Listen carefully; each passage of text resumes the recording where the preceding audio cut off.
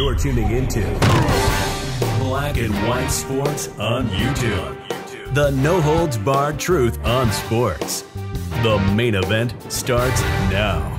Black and white sports fans, as you guys know, Deshaun Watson punishment will be coming down here pretty soon. The hearings on the actual punishment will start tomorrow.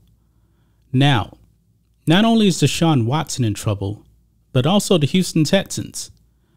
I put out a video, I believe, about a month ago, where it was reported that the Houston Texans enabled Deshaun Watson.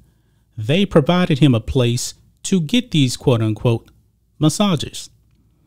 And folks, I do believe that the NFL will eventually come down on the Houston Texans. I, I believe they're going to get into some major trouble with the NFL. We actually have to see what happens. Uh, will it be a loss of draft picks? I expect a, uh, a bit fine. It's going to come down.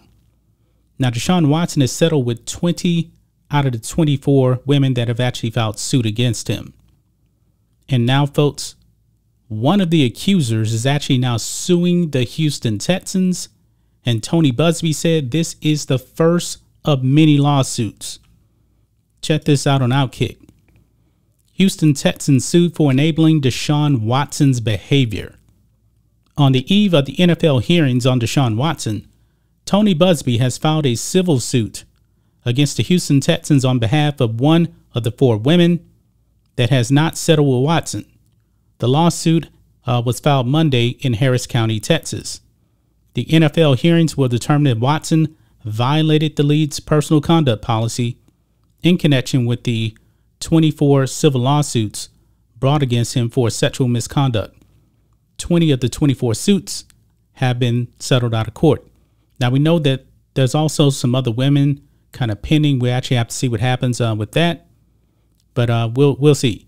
The lawsuit filed today alleges that the Houston Texans, quote, were aware of Watson's alleged behavior uh, during massage therapy sessions, and the individuals within the Texans organization knew or should have known of Watson's misconduct.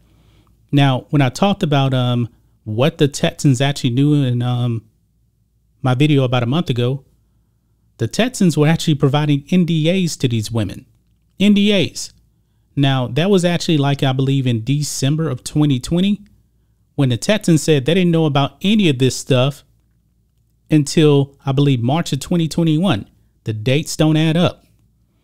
The lawsuit also goes on to accuse the Texans of providing Watson with rooms set up for him at the Houstonian Hotel, massage tables provided to him for private massage sessions, and an NDA provided to him from the head of Texans security. Now, I believe that is what has gotten the Texans in, into some hot water here. The head of Texans security. Obviously, this guy's not a lone wolf. Some people high up in the Texans organization, maybe all the way up to Cal McNair, knew exactly what was going on and they provided these NDAs. The Texans released a statement on Monday responding, quote, We are aware of the lawsuit filed against us today. Since March 2021, we have fully supported and complied with law enforcement and the various investigations. We will continue to take the necessary steps to address the allegations against our organization. The complaint also alleges that the Houston Texans were informed that Watson was seeking massages via Instagram as early as June of 2020. Now, that date doesn't add up because Texans said they didn't know nothing about this stuff until March of 2021. Uh, quote, today we filed the first case of what will likely be many against the Houston Texans related to Deshaun Watson's behavior, Tony Buzbee stated. Uh, suffice to it to say, the overwhelming evidence collected in, indicates that the Houston Texans enable Watson's behavior is incredibly damning. Wow. So, even though Watson settled with 20 out of the 24 women, that doesn't mean that they can't go out and actually sue the Houston Texans themselves. I don't know how many women are actually going to shoot, sue the uh, Texans. I'm not exactly sure how many of these massages actually happen in the Houstonian. That is the uh, the venue that um, the Texans provided. But this is not good news here for uh, the Houston Texans. Going to be interesting to see what um, the NFL is actually going to do about the Texans. But like I said, I don't think anything's going to happen to the Texans until Watson is punished first. And um, of course, the league reportedly is looking for a one year suspension. The Texans, I think um, the NFL is going to get them.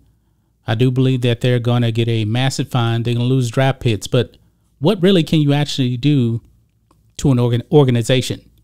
Now, if if there are actually individual names that come out, let's say like uh, Cal McNair himself, if he knew directly what was going on, man, the NFL really could come down hard on him. I'm not saying that he'd be forced to sell the team, but if he actually knew, I wouldn't be surprised. But we'll have to see. That's just my thoughts on this. What do you guys think of this? Black and white sports fans, let us know what you think about all this in the comments. Make sure to subscribe to Black and White Sports, and we'll catch you next time. Black and White Network supporters, make sure you check out the Black and White Network merchandise store. Link in the description. Use promo code USA First, all one word. USA First, all one word. 25% off now. Thanks for watching the show. Be sure to like, comment, and subscribe. Be sure to tune in next time on Black and White Sports.